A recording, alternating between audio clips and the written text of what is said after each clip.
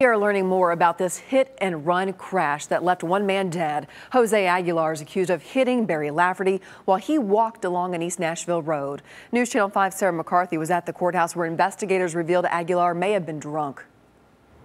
Jose Aguilar told police he had consumed 12 beers the night he hit and killed Barry Lafferty. Now, at this point, it's not clear if he was drunk at the time of the crash, but we do know Lafferty was hit so hard he broke several bones and his brain was bleeding. Those are the devastating details his family heard in this courtroom.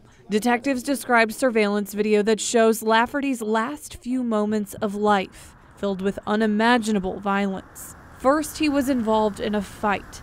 Three men beat him on the side of an East Nashville road. After the fight, no, sir, he doesn't appear steady. I, the best of my recollection, he has to be helped to his feet, and it kind of does look like he's stumbling around. Moments later, Aguilar allegedly crossed into the wrong lane. His car slammed into Lafferty. Does it appear that the defendant brakes at all? No.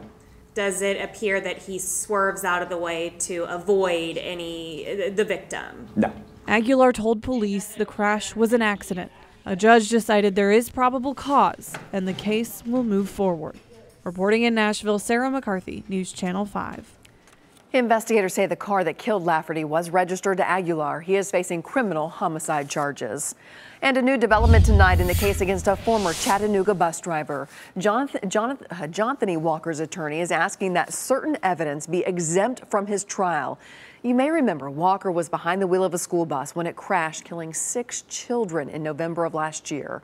A Chattanooga television station is reporting his attorney says using photographs of that crash and victims, phone calls made from the jail, and Walker's cell phone and driving records prior to the crash would be unfair to enter in the trial. The case is set to go on trial in March.